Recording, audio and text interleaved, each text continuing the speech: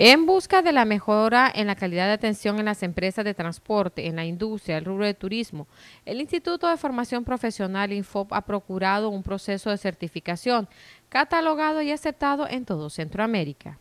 Estos procedimientos se están haciendo en diferentes tipos de naturaleza de negocios, tanto se están haciendo como para empresas de transporte, como empresas de servicios turísticos, como para empresas industriales, empresas de procesadores de alimentos, industrializadores de alimentos, eh, igual se está haciendo con los hoteles, restaurantes y todo tipo de empresas a nivel central, a nivel del, sur del país. Tenemos un destino sur también, pero tenemos un destino atlántico y así en cada uno de ellos el INFOP está certificando a las personas para garantizarle al, turista que las personas que le sirven son debidamente certificadas con calidad y pueden consumir los alimentos y consumir los servicios sin ningún temor de que vayan a ser eh, afectados su salud.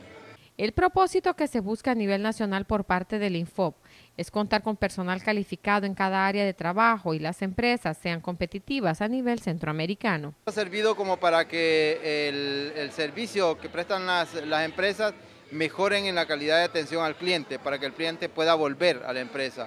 Y este cliente pueda ser repetitivo porque es la repetición en la que genera negocio. Y no se genera esta repetición porque el cliente, porque los servidores no están prestando el servicio de calidad, entonces el cliente no vuelve. Y si no hay repetición, no hay negocio.